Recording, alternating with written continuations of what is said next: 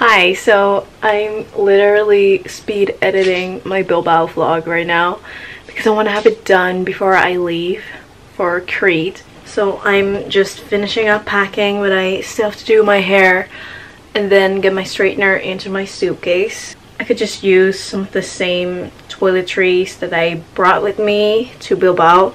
So that's nice, that saved me time. So it's gonna be an early flight at 8 so I have to get up at like 3 so that freaking sucks. Gonna be smoking hot in Greece and there's there are also some fires there so that's kind of scary but not on Crete so I'm not gonna manifest that. So I'm rolling up my clothes right now to save us space. I'm like Marie Kondo but I'm taking like two sandals two pairs of sandals and it's taking up like half my suitcase. It's crazy. Like, they're not even that big. It's literally 3 a.m. Yeah, you can't make this up. Let's do this though.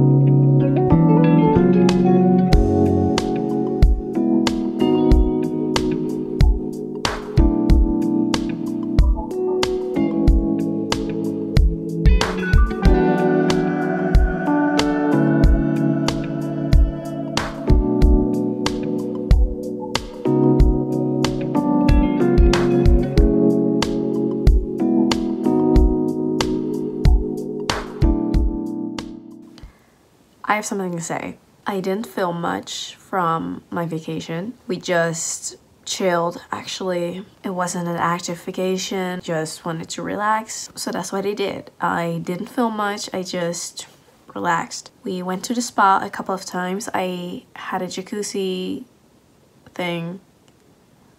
I did a jacuzzi. Well, it's in my opinion, it was more of a bath. And it was really nice and also with some fresh herbs. I also had a facial so all of my acne could come out and then I could treat it better. It was really hot there. It was always like 30 plus degrees so I was really literally melting. I feel like my voice sounds so raspy but that's fine. I'm gonna turn in Miley Cyrus. sorry. Our return flight was crazy actually. The Heraklion airport is actually so small. Like it's not suitable for the amount of tourists. So when we got there, also there was this big queue for the security, but it moved on pretty quickly.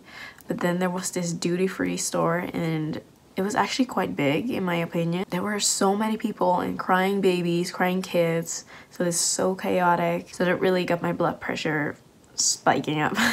and then we were waiting at the gate um, they also had a limited amount of gates. The flight before us was delayed, so there were so many people there. Um, and then we had a gate change and the communication was so bad at the airport. In the end, our flight was delayed by, I think, um, one and a half hour. We were just standing there and there was really bad AC and it was just so tiring.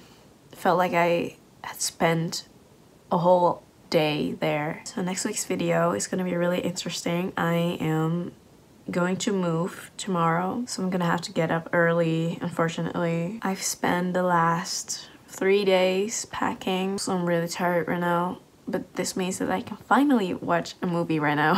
yeah, I'm really excited. Thank you for watching this little story time video vlog-ish. I'll see you next week. Bye.